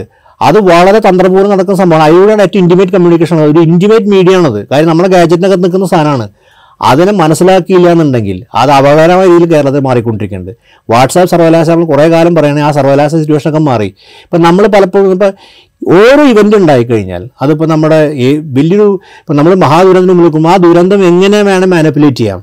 അതിന്റെ അകത്ത് ഏതൊക്കെ തരത്തിൽ വികാരം കൂട്ടിച്ചേർക്കാൻ ആലോചിക്കാനും തയ്യാറായി പ്ര- പ്രചരണം ചെയ്യാനുള്ള ഒരു വിഭാഗം ഒരു വിഭാഗം കേരളത്തിലുണ്ട്. ആ കേരള വിഭാഗം അവർ ആ ഒരു അത് നടന്നുകൊണ്ടിരിക്കുന്നുണ്ട്. ഇത് നമ്മുടെ പാർട്ടി കണ്ണടച്ചിട്ടിട്ട് കാര്യം മനസ്സിലാക്കി ഇതിനെ തിരുത്താൻ. അല്ലാണ്ട് നമ്മൾ വല്ല ഒന്ന് രണ്ട് പ്രസ്താവന ഇറക്കുക അത് ശരിയല്ലേ ശരിയാകുന്ന കാര്യമില്ല. കാര്യം ഇത് നടക്കുന്നുണ്ട്. ഇത് വളരെ സൂക്ഷ്മ അല്ലെങ്കിൽ പ്രചരിക്കുന്നുണ്ട്. ആൾക്കാരുടെ ഉള്ളിൽ കയറുന്നുണ്ട് ഇത് അതിന്റെ ഒരു പ്രതിഫലനം തന്നെ നമ്മൾ ഈ തെരഞ്ഞെടുപ്പിൽ കണ്ടത്. ഇത് തിരുത്തുക എന്ന് മാത്രമല്ല ഡിസോൺ ചെയ്യുകയും ഉത്തരവാദിത്തം ഏറ്റെടുക്കുകയും ചെയ്തില്ലെങ്കിൽ ഈ നമ്മൾ സമൂഹം ഇത് സി പി എം മാത്രമല്ല സമൂഹം തന്നെ പ്രശ്നത്തിലേക്കും. പിന്നെ നിങ്ങൾ പറഞ്ഞ സാമൂഹ്യ ഉത്തരവാദിത്തങ്ങളുണ്ട് നമ്മുടെ ഇത് സി പി എം വിദ്യാർത്ഥി സംഘടനകൾ യുവജന സംഘടനകൾ മറ്റ് സിവിൽ സൊസൈറ്റി സംഘടനകൾ ഇവർക്കെല്ലാം ബാധ്യതയുണ്ട്. മുസ്ലിം ലീഗിന് ബാധ്യതയുണ്ട് കോൺഗ്രസിന് ബാധ്യതയുണ്ട് സി പി ഐന് സി പി ഐക്ക് ബാധ്യത വിദ്യാർത്ഥി സംഘങ്ങൾക്ക് ബാധ്യതയുണ്ട്. അതുപോലെ മറ്റ് ട്രേഡ് യൂണിയൻ സംഘങ്ങൾക്ക് ബാധ്യതയുണ്ട്. ഉദാഹരണത്തിന് ഇപ്പോൾ സർവീസ് സംഘടനകൾക്ക് ഇതിനകത്ത്. കാര്യം അവർ പല ആൾക്കാർ സർവീസ് സംഘടന എന്ന് പറയുമ്പോൾ ഇടതുപക്ഷ സർവീസ് സംഘടനകളായിരിക്കും. അല്ലെങ്കിൽ എന്താ പറയുക കോൺഗ്രസ് സർവീസ് സംഘടനകളായിരിക്കും പ്രവർത്തിക്കുന്നുണ്ടാവുക ഔദ്യോഗികമായിട്ട് അവിടെ ആയിരിക്കും പക്ഷെ അവരുടെ മനസ്സ് ചിലപ്പോൾ അങ്ങനെ ആവണമെന്നില്ല. അപ്പോൾ അവരിലൂടെയൊക്കെ ഈ പ്രചരണം നടക്കും. ആ പ്രചരണം അവരുടെ സുഹൃത്തുക്കൾ എങ്ങനെ അങ്ങനെ വൈറലായി പോയി? ഇതിന് വൈറൽ മീഡിയ ആണല്ലോ അത്. അപ്പോൾ ഇവിടെയൊക്കെ തന്നെ ആ ഓരോ തട്ടിലും ഈ ഒരു പ്രവർത്തനം സജ്ജമായില്ല എന്നുണ്ടെങ്കിൽ അത് കേരളത്തെ ബാധിക്കാൻ പോകുന്നത്. കേരളം മാറും. നമ്മൾ കേരളത്തെക്കുറിച്ച് ഇന്ന് ദുരന്തമുഖത്ത് പറയുന്ന കേരളത്തിന്റെ പഴയ അവസ്ഥയിൽ നമ്മൾ കാലാവസ്ഥ വ്യതിയാനത്തെക്കുറിച്ച് പറയുമ്പോൾ കേരളം മാറിയെന്നും കേരളത്തിലെ പഴയ സ്ഥിതിയിൽ നമ്മൾ തിരിച്ചറിയുന്നുണ്ട്. അപ്പോൾ നമ്മുടെ പലതരത്തിലുള്ള പഴയ വികസന കൽപ്പനകളെ നമ്മൾ തിരുത്താൻ തയ്യാറാവുന്ന പോലെ തന്നെ കേരളത്തിന്റെ നമ്മുടെ ഈ ആശയ കാലാവസ്ഥയും മാറിക്കഴിഞ്ഞിട്ടുണ്ട്. അതൊരു യാഥാർത്ഥ്യമാണ്. അത് എല്ലാ ജില്ലകളിലും അതിന്റെ എല്ലാ ജില്ലകളിലും എല്ലാ സ്ഥലങ്ങളിലും ഈ കാ ഈ ഒരു ആശയ വ്യത്യാസം ആശയ എന്താണ് മാറ്റം വന്നിട്ടുണ്ട്. പലതരത്തിലുള്ള ക്യാമ്പയിനുകൾ വിജയിക്കുന്നുണ്ട്. അത് ആൾക്കാർക്ക് ഒരു അനുകൂലമായി ചിന്തിക്കാൻ അവസരം നൽകുന്നുണ്ട്. ഇത് മനസ്സിലാക്കിയില്ലെങ്കിൽ ഇത് കണ്ണടച്ചിട്ട് എന്ത് ചെയ്യാനാ? കാര്യത ഇത് വിനാശരായി പോകുന്നത് സമൂഹത്തിനായിരിക്കും രാഷ്ട്രീയ പാർട്ടികളായിരിക്കും വലിയ തോതിൽ ബാധിക്കും. അതിനു മുമ്പിലാണ് നിൽക്കുന്നത്. അങ്ങനെ ദുരന്തം നമ്മൾ ഫേസ് ചെയ്യുന്നുണ്ട്. പരിസ്ഥിതി ലോല മേഖല എന്ന് പറയുന്നത് പോലെ ആശയ തീവ്ര. രൂപപ്പെട്ടു അതെ, അതെ. അത് കാലാവസ്ഥയെ മാറ്റിക്കൊണ്ടി ആശയ കാലാവസ്ഥയെ മാറ്റിക്കൊണ്ടിരിക്കുകയും ചെയ്യുന്നു. ഫോൾട്ട് ലൈനുള്ള സംസ്ഥാനമാണെന്നായിരിക്കും ഒരു ഫോൾട്ട് ലൈൻ ഇവിടെ ഉണ്ട് ഇത് തമിഴ്നാട്ടിൽ എത്രയുണ്ടോ എനിക്കറിയില്ല. പക്ഷേ കേരളത്തിൽ എത്ര ഫോൾട്ട് നമ്മുടെ വിചാരം ഇതൊക്കെ വളരെ പുകം എന്താ പറയുക പുറത്ത് നോക്കുമ്പോൾ വളരെ സുഖം സന്തോഷകരവും അന്തരീക്ഷം. പക്ഷേ ഒരു ലൈൻ നിലനിൽക്കുന്നുണ്ട്. അത് ഉപയോഗിക്കാൻ ആൾക്കാരുണ്ട്. എന്തിന് രാജു ഞാൻ പേരെടുത്ത് പറഞ്ഞില്ല എത്ര നമ്മൾ ആലോചിക്കേണ്ട കാര്യം എത്ര ഈ ഔദ്യോഗിക യൂട്യൂബ് ചാനലുകൾ പച്ചയ്ക്ക് വിദ്വേഷം പ്രചരിപ്പിക്കുന്നുണ്ട്. പച്ചയ്ക്ക്. ഇതൊക്കെ കണ്ട് ആസ്വദിക്കുന്ന ആൾക്കാർ ആ വീഡിയോ എഴുതുന്നുണ്ട് അതുപോലെ ഇടതുപക്ഷത്തിന്റെ ഭാഷ ഉപയോഗിച്ചുകൊണ്ട് പക്ക പച്ചയ്ക്കാണ് വലതുപക്ഷ രാഷ്ട്രീയം പ്രചരിപ്പിക്കുന്ന എത്ര പ്രചാരങ്ങളുണ്ട് ഞാൻ പേരെടുത്ത് പറയാൻ ആഗ്രഹിക്കുന്നില്ല. കാര്യം നമ്മളത് ഇത്തരം റീഡ് ചെയ്യാൻ പോലും ശേഷി നമുക്ക് വേണ്ടി വരും. ഈ വാക്കുകൾ ഇവരുടെ പ്രജ വാക്കുകളെ റീഡ് ചെയ്യാൻ പോലും ശേഷി ഉയർത്തേണ്ടി വരും. ഇത് സി പി എം ആൾക്കാർക്ക് പറ്റുമോ കോൺഗ്രസ്സുകാർക്ക് പറ്റുമോ എന്നുള്ള പ്രശ്നമല്ല. ഇതൊരു സാമൂഹികമായിട്ടുള്ളൊരു ഇതുണ്ട്. കാര്യം വളരെ ഇടതുപക്ഷ ഭാഷയിലേക്ക് ഉപയോഗിക്കുക ഇടതുപക്ഷ ടേംസ് ആയിരിക്കും ഉപയോഗിക്കുക ഇടതുപക്ഷ സം- സംജ്ഞകളെ ഉപയോഗിക്കുക. അതിന് ഇടതുപക്ഷ ലോകത്തെ വിഭാവനം ചെയ്യും. പഴയ ആൾക്കാരെ പുരസ്കരിക്കും. പഴയ നേതാക്കൾ മഹാമാരായിരുന്നു എന്നൊക്കെ പറഞ്ഞിട്ട് പ്രചരിപ്പിക്കുന്നത് നല്ല വലദോഷ ആശയായിരിക്കും ഇത് നടക്കുന്നൊരു കാര്യമാണ്. ഇതൊക്കെ ഔദ്യോഗികം നടക്കുന്ന കാര്യമാണ് ഇതിന് അംഗീകാരം കിട്ടുന്നുണ്ട്. ഇതിനോടൊക്കെ തന്നെ ഒരു വിമർശന സമീപനം എടുത്തില്ലെന്നുണ്ടെങ്കിൽ. ഞാൻ പറഞ്ഞത് ആൾക്കാർ അധിക്ഷേപിക്കുക ചീത്ത പറയാൻ മോശമാണ് പക്ഷേ വിമർശനാത്മക സമീപനം അത് തിരിച്ചറിയാനും അത് അത് പാരായണം ചെയ്യാനുള്ളൊരു ഒരു ശേഷി ആൾക്കാർ ഉണ്ടാക്കുക എന്നുള്ളതാണ്. ഞാൻ അവിടെ കെ എൻ ഒരു ഉപയോഗിച്ചൊരു പ്രയോഗം ഞാൻ ആലോചിക്കുകയാണ്. ഫാഷിസ്റ്റ് അല്ലാത്ത ഫാഷിസ്റ്റുകൾ എന്ന് പറഞ്ഞിട്ട് എവിടെ പറയുന്നത് ആ അവസ്ഥയിലേക്ക് കേരളം പല ആൾക്കാരും മാറുന്ന സിറ്റുവേഷൻ ഉണ്ടാവാം. ഈ നേരിട്ട് നോക്കും ഫാഷിസ്റ്റ് രാഷ്ട്രീയത്തെ പിന്തുണ പിന്തുണയ്ക്കുന്നവരോ അതിനോട് യാതൊരു ആഭിമുഖ്യമുള്ളവരായിരിക്കുന്നില്ല. പക്ഷേ ഈ ആശയം അവരിലൂടെ വരുന്നുണ്ട്. അതിന് ഒരു ഇമോഷണലായിട്ടാണ് ക്യാമ്പയിൻ നടക്കുന്നത്. അത് നമ്മൾ അത് ആ ഇമോഷണാലിറ്റിയുടെ കാര്യം കൂടി അന്വേഷിക്കേണ്ട എന്തുകൊണ്ട് അങ്ങനെ വന്നുള്ള കാര്യം കൂടി നമ്മൾ അന്വേഷിക്കേണ്ടി വരും. എന്താണെന്നുള്ളത്. പക്ഷേ ആ ഇമോഷണത്തിലൂടെയാണ് ഇവർ ട്രസ്റ്റ് ചെയ്യുന്ന ഈ സാധനം മുഴുവൻ കയറ്റിക്കൊണ്ടിരുന്നത് ആ ഇമോഷണലിയാണ് അവതരിപ്പിക്കുന്ന ഈ പല കാര്യങ്ങളും. ഇപ്പോൾ ബംഗ്ലാദേശ് വിഷയം തന്നെ നോക്കിയ സമയത്ത് വിമർശനാത്മകമായി പറയാൻ പല കാര്യങ്ങളുണ്ട്. വിദ്യാർത്ഥി പ്രക്ഷോഭമായി ബന്ധപ്പെട്ട് തുടർന്ന് അവിടുത്തെ കാര്യങ്ങളും അതിന് എഴുപത്തോളം ഹിസ്റ്ററി എന്നൊക്കെ പറയുന്നത് നമ്മുടെ സൗത്ത് ഏഷ്യൻ ഹിസ്റ്ററിയിൽ ഒരുപാട് കമ്മ്യൂണൽ പ്രശ്നമുണ്ട്. അത് ബംഗ്ലാദേശിന്റെ പ്രശ്നം മാത്രമല്ല. സൗത്ത് ഏഷ്യൻ ഹിസ്റ്ററിക്കകത്ത് വലിയൊരു ഡിവിഷൻ അത് കൊളോണിയൽ ഹിസ്റ്ററി മുതൽ തുടങ്ങുന്ന ഡിവിഷൻ ഉണ്ട്. അപ്പോൾ അതിന്റെ പല പ്രത്യാഘാതങ്ങളുണ്ട്. അതിന്റെ ഒരുപാട് പ്രശ്നം നമ്മൾ വിമർശനാത്മക സമീപിക്കാൻ വേണം അത് ആരും ഗ്ലോറിഫൈ ആരും തരം താഴ്ത്തുന്നില്ല പക്ഷെ അങ്ങനെ ഉണ്ടായിട്ടുണ്ട്. പക്ഷെ അതിന്റെ പേരിൽ ഗാസയിലേക്ക് പോവുക. അത് രണ്ട് രണ്ട് അത് ചരിത്ര സന്ദർഭമാണ് രണ്ട് ഇഷ്യൂ ആണ് രണ്ട് പ്രശ്നമാണ് യാതൊരു ബന്ധവുമില്ല അത് അപ്പോൾ ഉദ്ദേശം അതാണ്. ഗാസയ്ക്ക് ഐക്യദാർഢ്യം പ്രകടിപ്പിക്കും നിങ്ങൾ ഇവരൊന്നും മിണ്ടുന്നില്ല എന്നൊക്കെ പറയുമ്പോൾ അത് ഇമോഷണലി ആൾക്കാരെ ഇപ്പോൾ പിടിക്കുകയാണ്. ഇമോഷണലി ക്യാപ്ചർ ചെയ്യാൻ നോക്കുകയാണ് ഇതിന്റെ അകത്ത്. ആ താരതമ്യം സാധാരണ ആൾക്കാർ ഇപ്പോൾ ആർക്കെങ്കിലും അറിയും. ഗാസ ഹിസ്റ്ററി എല്ലാവരും പഠിച്ചു വെച്ചിട്ടുണ്ടാവണമെന്നില്ല. ഫലസ്തീൻ ഹിസ്റ്ററി പഠിച്ചിട്ടുണ്ടല്ലോ പക്ഷേ ഇവിടെ പ്രശ്നം ഒരു സംഭവം നടന്നുകൊണ്ടിരിക്കുക. അപ്പോൾ ഇവിടെ കുറിച്ച് ഒരു സൗത്ത് ഏഷ്യൻ കൺട്രി നമ്മൾ അയൽപക്ക രാജ്യം ചില ധാരണകളൊക്കെ ഉണ്ടായിരിക്കും അപ്പോൾ ഇമോഷണലി കണക്ട് ചെയ്ത് കഴിഞ്ഞാൽ എന്തായി? ആൾക്കാരുടെ മനസ്സിൽ വിദ്വേഷം ഉയർത്താൻ പറ്റുന്ന അവസ്ഥയെ ആ- ഇമോഷണൽ ആ വൈകാരിക ഒരു പ്രചരണം കേരളത്തിൽ നടക്കുന്നുണ്ട്. നമ്മളിവിടെ നടക്കുന്നുണ്ട് വാട്സാപ്പ് ഗ്രൂപ്പ് നടക്കുന്നുണ്ട് ദൈനംദിന അടിസ്ഥാനത്തിൽ മണിക്കൂറിന്റെ അടിസ്ഥാനം നടന്നുകൊണ്ടിരിക്കുന്നുണ്ട്. ഇതൊക്കെ പ്രചരിപ്പിക്കുന്ന ആൾക്കാരും ഉണ്ട് ചിലപ്പോൾ അവരൊക്കെ ഈ റിട്ടയർ ചെയ്തൊക്കെ ആൾക്കാരൊക്കെ ഒരു സുഖമായിരുന്നിട്ടായിരിക്കും ഇതാക്കുക. അവർ ചിലപ്പോൾ ഈ രാഷ്ട്രീയം ഞാൻ പറയുന്നത് വലതുപക്ഷ രാഷ്ട്രീയത്തിന് അല്ലെങ്കിൽ ഒരു പക്ഷെ നമ്മൾ നോക്കുകയാണെങ്കിൽ സംഘപരിവാർ സംഘടന അല്ലെങ്കിൽ മറ്റേ സംഘടനകളൊന്നും പ്രവർത്തകർ പോലും ആവണമെന്നില്ല. ആവണമെന്നില്ല. കാര്യം അവർ ചിലപ്പോൾ ഒരു പക്ഷേ കൊടുക്കുന്നു ഒന്നുകൂടി സംശയിക്കും എന്ത് ചെയ്യണമെന്നുള്ളത്. ഇതൊന്നായിരിക്കില്ല ആ വൈ വികാരം തള്ളിയിടാണ് ആ വികാരത്തിന്റെ വൈറൽ ഒരു പ്രചരണം ഇതിൽ ഇതുപോലെ ഇതുപോലെ നമ്മളിപ്പോൾ നമ്മൾ നോക്കുകയാണ് നിർമ്മല കോളേജുമായി ബന്ധപ്പെട്ട പ്രശ്നം ഇതുള്ളത്. നമ്മൾ ഇതൊക്കെ ഇത് കാണണം നിർമ്മല കോളേജ് പ്രശ്നം അത് ആ സ്റ്റേജിൽ നിന്ന് ഇപ്പോഴും അതിനെക്കുറിച്ച് ക്യാമ്പയിൻ നടക്കുന്നുണ്ട്. അത് കഴിഞ്ഞു അത് ഏതോ രീതിയിൽ അത് ഏതോ രീതിയിൽ വളരെ നല്ല രീതിയിൽ അത് രണ്ട് നേരിട്ട് പോയി പ്രശ്നം പരിഹരിച്ച വളരെ ഒരു മാതൃകാപരമായ പ്രശ്നം പരിഹരിച്ച സംഭവമാണ്. പക്ഷെ അവിടുന്നും ആ ക്യാമ്പയിൻ പല രീതിയിലും കൊണ്ടുവന്നുണ്ട് അതിൽ സെക്യുലർ വിഭാഗം സെക്യുലറിസ്റ്റുകളും ചില പങ്കുവഹിക്കുന്നുണ്ട് നമ്മൾ സെക്യുലറിസ്റ്റ് എന്ന് വിളിക്കുന്ന വിഭാഗങ്ങളും പല ഒന്ന് ഇതൊരു ഇതിനകത്ത് വലിയ വിശകലന വിദഗ്ധം വൈദഗ്ധ്യം കൊണ്ടുവന്നിട്ട് മനസ്സിലായില്ല. അത് അങ്ങനെയാണ് ഇങ്ങനെ കാരണം സംഭവിച്ചിട്ട് ചെയ്യുന്നത് എന്താണ് പ്രേരിപ്പിക്കുന്നത്? അതിനൊക്കെ ഈ കോൺസിക്വൻസിനെ കുറിച്ച് ആലോചിക്കാതെ നമ്മൾ ഇടപെടുന്ന രീതി ഉണ്ടല്ലോ കോൺസിക്വൻസും പ്രത്യേക സമൂഹത്തിൽ നമ്മുടെ ബഹുമുഖ സമൂഹമാണ്. പലതരം വ്യത്യസ്ത സമൂഹമാണ്. അപ്പോൾ വ്യത്യസ്തകൾ അംഗീകരിക്കാനുള്ള വിമുഖത പ്രധാനമായിട്ടുണ്ട്. അതിനുശേഷം മെല്ലെ മെല്ലെ ഈ സാധനം ഇതാക്കുക. അതുപോലെ തന്നെ മതവിമർശം എന്ന പേരിൽ പച്ചയ്ക്ക് വർഗീയത പ്രചരിപ്പിക്കുക. അത് നടന്നുകൊണ്ടിരുന്ന കാര്യം. നമ്മൾ ഞാനിത് പേരെടുത്ത് പറയേണ്ട വെച്ചാൽ നമ്മൾ പലപ്പോഴും കാണുന്ന മതവിമർശനം എന്നായിരിക്കും പേര്. മതവിമർശനം നടത്താൻ എല്ലാവർക്കും സ്വാതന്ത്ര്യം നടത്തട്ടെ. കാര്യം മാർക്സ് എന്ന് പറഞ്ഞാൽ എല്ലാ വിമർശനം ആരംഭിക്കുന്ന മതവിമർശനം എന്നാണ്. പക്ഷേ മതവിമർശനം എന്ന പേരിൽ വർഗീയത ആൾക്കാരെ വികാരപരമായിട്ട് ആൾ എന്താ പറയുക ഒരു പ്രതിസന്ധിയിൽപ്പെടുത്തുകയോ അല്ലെങ്കിൽ വികാരപര ആളെ തളർത്തുകയോ ഒക്കെ രീതിയിലൊരു ക്യാമ്പയിൻ കൊണ്ടൊന്ന് ഒട്ടും ആശാസ്യമായിട്ടുള്ള കാര്യമല്ല. അത് സമൂഹത്തെ ബാധിക്കും. ഇത് ഇതൊന്നും രാഷ്ട്രീയ പാർട്ടികൾക്കോ ഭരണകൂടങ്ങൾക്കോ ഒന്നും ചെയ്യാൻ പറ്റില്ല. നിയന്ത്രിക്കാനും പറ്റില്ല. മോഹൻലാലിനെതിരെ എന്തോ നമ്മുടെ എന്താണ് ചെകുത്താനുള്ള ക്യാമ്പയിൻ നടത്തി എന്തോ ഒരു രണ്ട് വാക്ക് കഴിഞ്ഞപ്പോഴേക്കും പോയി അറസ്റ്റ് ചെയ്ത വലിയ പോലീസ് അവിടെ ഉള്ളത്. ഇതിലും വലിയ ഇപ്പോൾ ക്യാമ്പയിൻ നടന്നുകൊണ്ടിരിക്കുന്നുണ്ട്. ഒരു ചുക്കും പോലീസ് ചെയ്യാൻ പറ്റില്ല. ആ മോഹൻലാൽ ആയതുകൊണ്ട് മാത്രമാണ് അമ്മ സംഘടനയുടെ നേതൃത്വം ആവശ്യപ്പെട്ടുകൊണ്ട് മാത്രമാണ് ആ അറസ്റ്റിലേക്ക് പോലീസ് പോയത്. അത്ര വലിയ വിദ്വേഷം അതിന്റെ അകത്തുണ്ടെങ്കിൽ സംശയം പക്ഷേ അതിനേക്കാൾ കൂടുതൽ വിദ്വേഷ പ്രചരണം നടത്തിക്കൊണ്ടിരിക്കുന്ന ഏറ്റവും യൂട്യൂബ് ചാനലുകൾ നമ്മുടെ മുമ്പിൽ ഇപ്പോഴും പിന്നെ വളരെ മുമ്പിലുണ്ട്. നമ്മൾ പ്രകടമായിട്ട് പ്രകടമായി നടത്തിക്കൊണ്ടിരിക്കുന്നു. ഓരോ ഇവന്റും കാത്തു നിൽക്കണം അവർക്ക് വേണ്ടിയിട്ട്. ആ ഇവന്റ് വന്നാൽ അപ്പോൾ അതൊന്ന് അതിപ്പോൾ ദുരന്തമാണെങ്കിൽ നമ്മൾ ആ ദുരന്തത്തിന് മുതൽ എല്ലാവരും ആദ്യം അന്താളിച്ചു. പിന്നെ നമുക്ക് ഒരു അതിന്റെ ട്രോമയിൽ വരാൻ നമുക്ക് ആ ട്രോമ അനുഭവത്തിൽ കിടക്കുന്നുള്ളൂ. പക്ഷേ ഈ മാധ്യമങ്ങളൊക്കെ പിൻവാങ്ങുമ്പോഴായിരിക്കും അതിന്റെ ഒരു ട്രോമയിലേക്ക് ആ സമൂഹം പോവുക.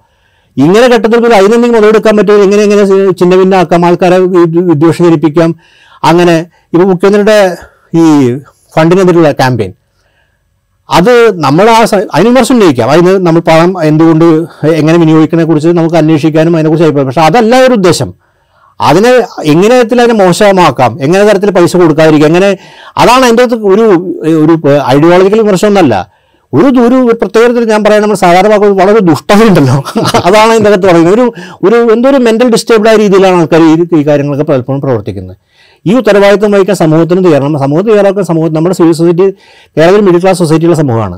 ഈ മിഡിൽ ക്ലാസ് സൊസൈറ്റിയുള്ള സമൂഹത്തിൽ എന്ന് പറയുമ്പോൾ അതിന് പ്രത്യേകത വെച്ചിട്ടുണ്ടെങ്കിൽ അതിന് ഈ പ്രോഗ്രസീവ് മെഷേഴ്സിനും അനുകൂലിച്ച് നിൽക്കാൻ പറ്റും. അതേസമയം തന്നെ ഏറ്റവും റിഗ്രസീവ് മെഷേഴ്സ് ഉൾക്കൊള്ളും വളരെ എളുപ്പത്തിൽ അപ്പോൾ ആ മിഡിൽ ക്ലാസ് സൊസൈറ്റിയിലേക്ക് സ്വാധീനം ചെലുത്തുന്ന ഒരുപാട് ഘടകങ്ങൾ പറഞ്ഞ സിവിൽ സൊസൈറ്റി പ്രസ്ഥാനങ്ങളാണ്. മീഡിയ ഉൾപ്പെടെ അവർ ജാഗ്രത പുലർത്തിക്കൊണ്ട് ഈ കാര്യത്തിൽ ഇടപെട്ടില്ല എന്നുണ്ടെങ്കിൽ നമ്മൾ ഈ കണ്ട കേരളം എന്നല്ല ഇപ്പം നമ്മൾ ഈ വയനാട് നമ്മൾ അനുഭവിച്ചേക്കാൾ വലിയ സാമൂഹ്യ ദുരന്തം കേരളം സംഭവിക്കും. അത് നമ്മളങ്ങനെ പറ അങ്ങനെ സംഭവിക്കാതിരിക്കാൻ നമ്മൾ ആഗ്രഹം അങ്ങനെ സംഭവിക്കാ സംഭവിക്കുകയും ചെയ്യില്ല. പക്ഷേ അതിന് ഉത്തരവാദിത്തം കേരളത്തിലെ രാഷ്ട്രീയ പാർട്ടികൾക്കുണ്ട് സാമൂഹ്യ സിവിൽ സൊസൈറ്റി പ്രസ്ഥാനങ്ങൾക്കുണ്ട് മാധ്യമങ്ങൾക്കുണ്ട് നമ്മൾ ഓരോരുത്തർക്കുണ്ട്. ഇത്ര ക്യാമറ അവിടെ വെച്ച് നിർത്തിക്കാന്നുള്ളൂ നമ്മുടെ അടുത്തേക്ക് ഒരു സാധനം അയക്കുമ്പോൾ അവിടെ നമുക്ക് സ്റ്റോപ്പ് ചെയ്യാം. നമുക്ക് നമുക്ക് തന്നെ പറയാലോ? എനിക്ക് വേണ്ട. നിങ്ങൾ നിങ്ങളെ ആ- സാധനം അവിടെ വെച്ച് നമുക്ക് സ്റ്റോപ്പ് ചെയ്യണം. ഈ അടുത്ത കാലത്ത് ദേവന്നൂർ മഹാദേവയുടെ ആർഎസിനെ കുറിച്ച് വിമർശനം ഒരു പുസ്തകമുണ്ട്. ആ ചെറിയ പുസ്തകം. അതിൽ അവസാനം പറയുന്നുണ്ട്. ഇവർ വരുന്ന സമയത്ത് പറയും നാളെ ബാ. എന്ന് ആണ് അവർ കന്നഡ ഭാഷ പറയുക. ഇന്ന് വേണ്ടെന്ന് പറഞ്ഞിട്ട് ആ ഇന്ന് വേണ്ടാനാണത് അത് നമുക്ക് പറയാമല്ലോ അതുള്ളത്. വളരെ സൗമ്യമായിട്ടാണ് അദ്ദേഹം പറയണത്. നാളെ പറഞ്ഞാൽ മാറ്റി നിർത്തലാണ്. ആ മാറ്റി നിർത്തൽ നമുക്ക് എല്ലാവർക്കും പറ്റണം. കാര്യം നമ്മൾ ജീവിച്ച ഒരു അന്തരീക്ഷത്തിലേക്കല്ല പോകുന്നത്. കാരണം നമ്മുടെ കാലാവസ്ഥ നമ്മൾ ജീവിച്ച അനുഭവിച്ച അന്തരീക്ഷമല്ല. അത് മാറുന്നുണ്ട്. ഭയങ്കരമായി മാറുന്നുണ്ട്. നമുക്ക് അറിയാം. ഈ തെരഞ്ഞെടുപ്പിന് ശേഷം ഞാനത് നമ്മൾ കാണുന്നുണ്ട്. വെറുതെ സോഷ്യൽ മീഡിയ ഓടിച്ചു നോക്കി കാണാൻ പറ്റും. ഈ ഒരു മാറ്റം നമുക്ക് കാണാൻ പറ്റും. തിരിച്ചറിഞ്ഞില്ലെങ്കിൽ രാഷ്ട്രീയ പാർട്ടികളും എല്ലാവരും സാമൂഹ്യ പ്രസ്ഥാനങ്ങളും എല്ലാവർക്കും മനസ്സിലാക്കിയില്ല എന്നുണ്ടെങ്കിൽ അത് നമ്മൾ കണ്ട കേരളമല്ല. നമ്മൾ ഈ മടിക്കൈയേക്കാൾ അല്ല നമ്മുടെ മുണ്ടക്കൈയേക്കാളൊക്കെ അതും അതൊരു ആ ദുരന്തം പോലെ തന്നെ നമ്മൾ സാമൂഹിക നമുക്ക് ഉൾക്കൊള്ളാൻ പോലും പറ്റില്ല. ഒരു റൈറ്റ് ട്രിഗർ ചെയ്യാൻ വാട്സാപ്പ് മെസ്സേജിന് പറ്റും. ഒരു റൈറ്റ് ട്രിഗർ ചെയ്താൽ. നമ്മൾ റൈറ്റ് ട്രിഗർ ചെയ്യുക എന്ന് പറയുന്നത് വളരെ അസുഖം എല്ലാവരും പോയി പങ്കെടുക്കല്ല. അതിനൊരു തയ്യാറായ വിഭാഗം ഉണ്ടായിരിക്കും.